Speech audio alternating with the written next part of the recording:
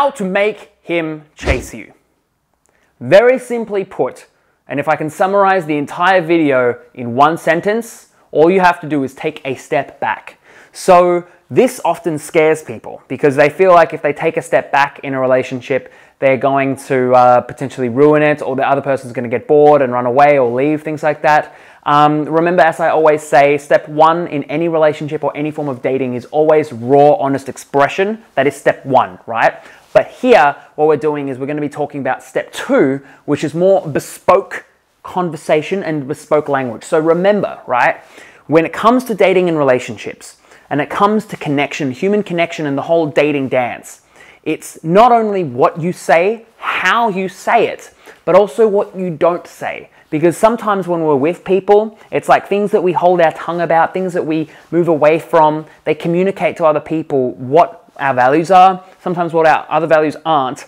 And it's very interesting because a lot of people get really upset by this idea because they're like, you know, I thought we have to be honest all the time. I'm like, you have to be honest all the time.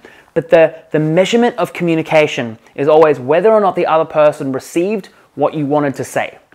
Right? If they didn't get what you're trying to say, then more often than not, your communication has failed.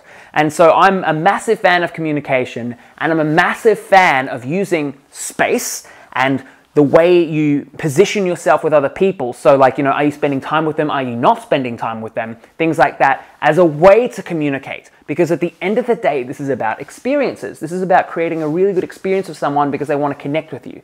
And let's ask you this question first of all Have you ever been on a date with a guy who just would not give you any space afterwards? You know, he's he chased you. He he he probably gave you um, he was a bit overbearing. Like he gave you some flowers on the first date, and you're like, you know, I, I, I don't even know you. Why are you doing this for me? Um, it just feels like it's a bit too much, like it's uncalibrated. There's no empathy. It's kind of like he's in love with the idea of future you and not necessarily you. You know, have you ever been in that experience? Uh, I personally have been in that experience in the past myself, actually. And, um, but here's the thing to know like, this, when happens to us, when we really like someone, we can often get ahead of ourselves and we want to like spend every moment with them because we know like how amazing it's going to be. But that person, unless they're doing that with you, they haven't experienced that yet. Remember, this is about experiences. So if they haven't experienced that yet and you're moving, trying to move the relationship forward, then they're not necessarily getting the same uh, their same sense of connection that you are. So we have to focus on experiences, right?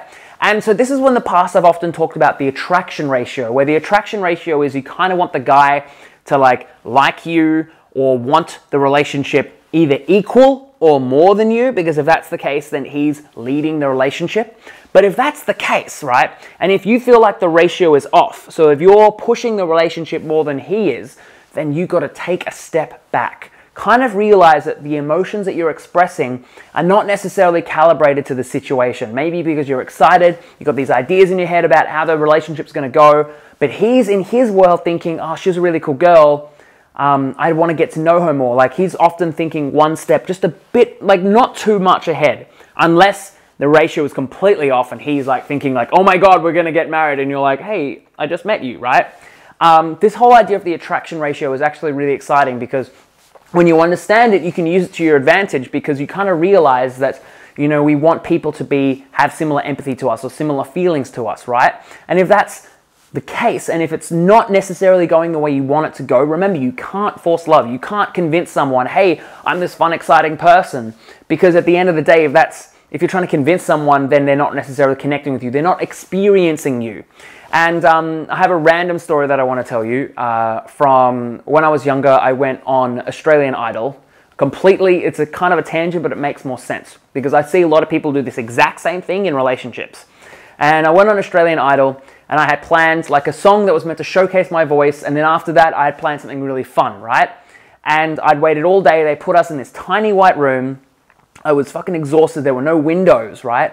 And I go and I stand in front of the judges and I sing this first song and they say, That's it?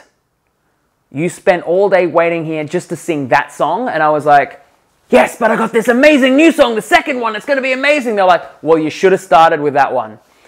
And as harsh as it is, sometimes dating is like that. Because we're with that person and they're like, I haven't experienced you yet, I don't know who you are. And you're like, just wait until you get to know me, you'll realize how fun I am. And then they're like, oh, I don't know, I haven't experienced that yet, I don't know what you're talking about. And so we kind of want to let the other person lead the relationship just as much as you are. Because if you're feeling like you're pushing it, then most of the time you're actually training that person to just let it be in your hands. Like, have you ever been in a situation where um, you feel like you know you're always the one making the first step? Well, that's how you get them to actually start taking initiative. Is you take that step back. And if that doesn't work, because again, it's about experiences, right? Then you have to really use your words and communicate.